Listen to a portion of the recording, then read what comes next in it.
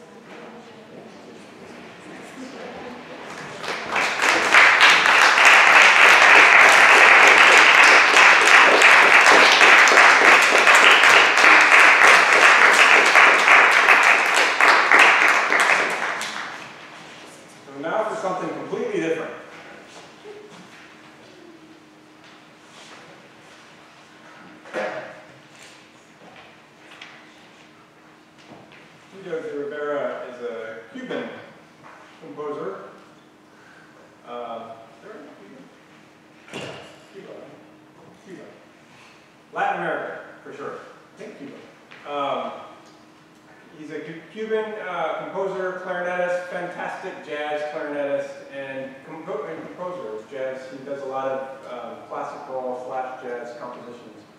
Um, so this is one of his most recent compositions for clarinet. Uh, this is called Cape Cod Files for clarinet and piano. It was written for the clarinetist Jon Manasse, and uh, famous, famous clarinetist. How many of you know him? Nobody? No? Jon Manasse, N- New York-based, New York City-based clarinetist. He's principal of New York City Ballet Opera. famous soloist in the United States. He's a very fine clarinetist. You should look up some of the many recordings. Uh, you should look up some of his recordings. Um, Jon Manasse. Uh, I can tell you how to spell that afterwards. Um, but um, it was written, in, I believe, in 2011. Um, and each movement honors uh, Benny Goodman, 100 years old. Well, you can see the program. So, um, we're doing all, we're doing the first, second, and fourth movement. The third movement is actually for solo clarinet. And in lieu of the fact that I just did a solo piece, I'm not going to do the solo movement. So we're just doing one, two, and four.